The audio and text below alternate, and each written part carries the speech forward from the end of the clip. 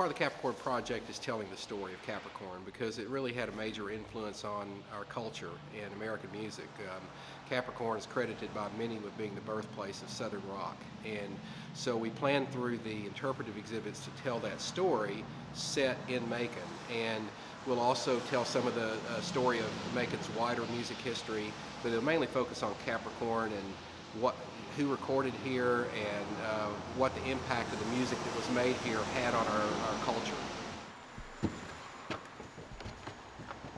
Uh, we chose Riggs Ward out of about eight proposals that were submitted.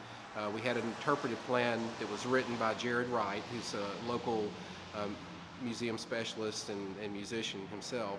Uh, he wrote the interpretive plan and the companies uh, made proposals uh, based off that interpretive plan.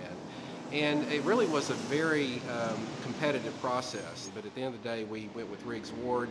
Um, we felt like they had a really good vision for how, what this would look like. And, uh, and, and uh, Jared had had previous experience working with them at the Atlanta History Center, so that was a factor in their favor. Uh, but we really think that they're going to do the best job of taking the interpretive plan and bringing it to life.